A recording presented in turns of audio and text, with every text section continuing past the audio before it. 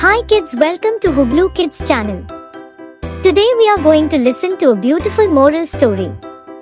Let's begin the story. The Generous Little Bird In a serene forest, there lived a little bird named Pihu. Pihu was known for her melodious singing and her generous heart.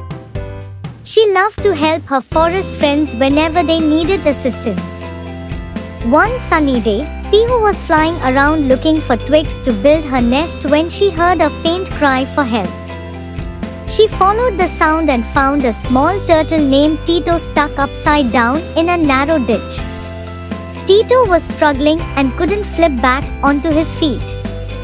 Without hesitation, Pihu flew down and tried to lift Tito, but he was too heavy for her tiny wings. Pihu didn't give up. She quickly flew to her friends, the rabbits and the squirrels, and asked for their help. Together, they used their combined strength to gently push Tito back onto his feet. Tito was extremely grateful. He said, Pihu, you and your friends saved me. Thank you for being so kind and helpful. Pihu smiled and said, We should always help those in need, Tito. That's what friends are for. A few days later, Pihu found herself in trouble. She had woven her nest in a tree that was now being cut down by humans. Pihu couldn't move her nest alone and feared for her eggs. She chirped loudly for help. Tito, remembering Pihu's kindness, gathered all the forest animals. With their combined effort, they carefully moved Pihu's nest to a safe tree.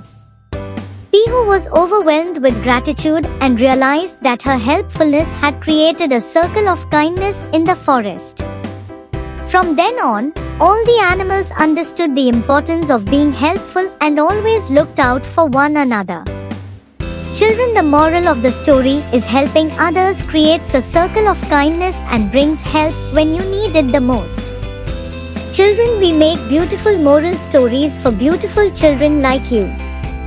Press the like button and subscribe to our channel by clicking subscribe button.